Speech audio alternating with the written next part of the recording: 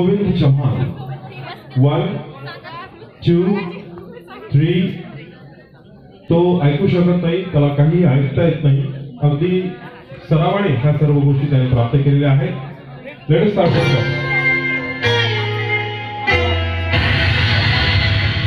Thank you.